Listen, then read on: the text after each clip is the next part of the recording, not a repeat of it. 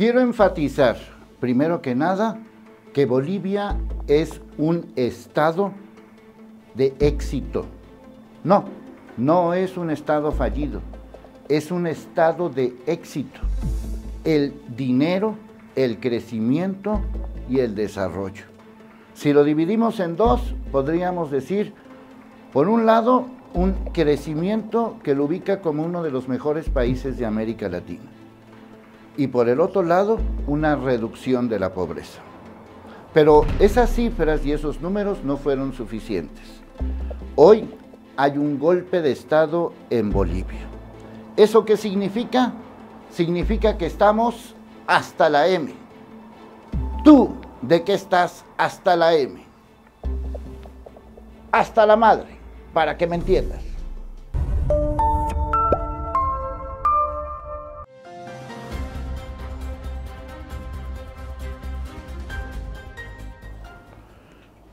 Los datos que vas a ver a continuación enmarcan cómo es Bolivia en este 2019. El crecimiento, ahí lo puedes ver, mucho mayor que pues, cualquier proyección que podamos tener, por ejemplo, en México. El crecimiento es mayúsculo, es un crecimiento alto para un país que durante muchos años ha sido un país sobajado y pobre. El otro dato también lo puedes ver. Se trata de la reducción de la pobreza extrema. Son los datos oficiales, son los datos de estos grandes organismos que son los que dominan el mundo. Pero Pese a estos datos, crecimiento, desarrollo, reducción de la pobreza que ya los quisiera cualquier país, incluyendo México, pues no fue suficiente. El tema tiene que ver con una nueva reelección de Evo Morales. Él es presidente o era presidente desde el 2006. Estamos hablando de 13 años y prácticamente 10 meses. 13 años, 9 meses y 20 días hasta ahí llegó. ¿Qué fue lo que pasó?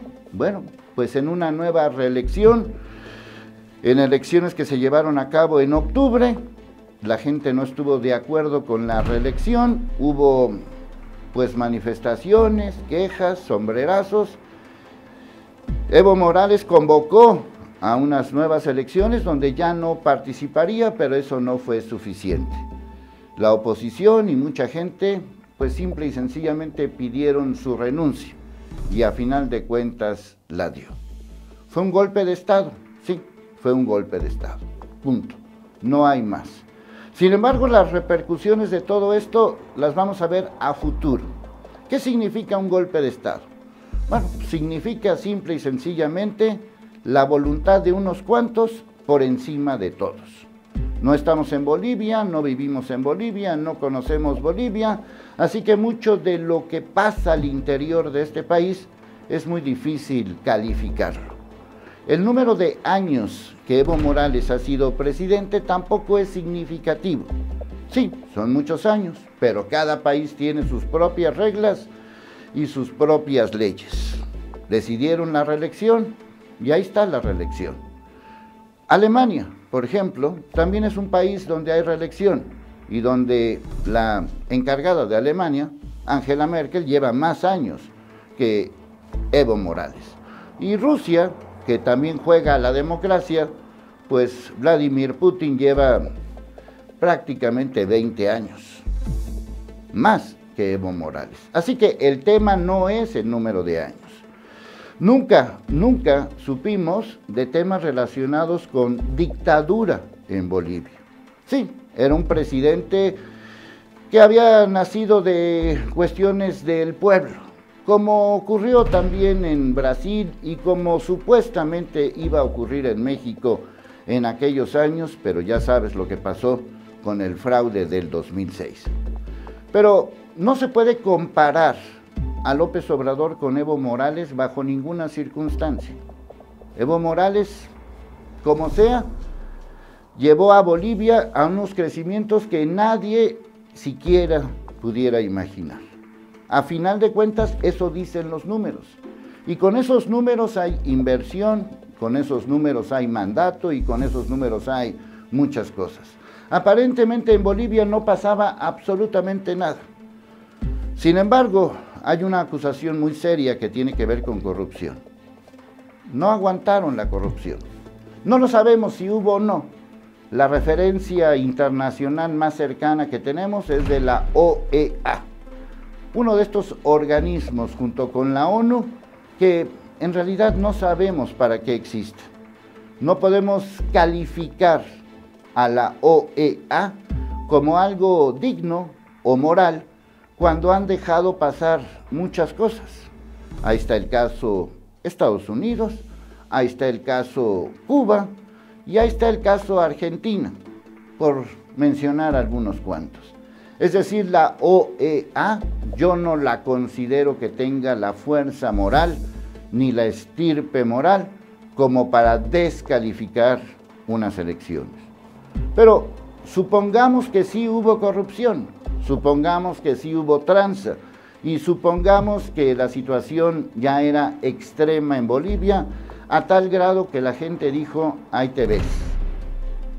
Estamos hasta la M, hasta la madre, para que me entiendas. Lo cual significa, en muchas condiciones, que estamos en peligro todas las democracias. Aquí aparentemente Estados Unidos ni metió mano estaba tan preocupado con Venezuela o tan preocupado con México que a final de cuentas creo que ni siquiera se dieron cuenta de lo que estaba pasando en Bolivia.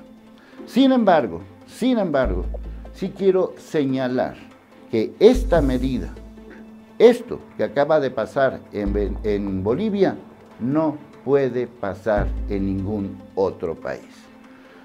A final de cuentas, lo que se logró si lo quieres ver desde ese punto de vista, logro, es el asunto de repetir las elecciones.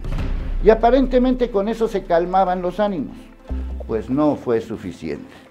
En estos momentos, en estos momentos, hoy hay situaciones parecidas en Argentina, situaciones parecidas en Chile, situaciones parecidas en Venezuela, situaciones parecidas en Bolivia.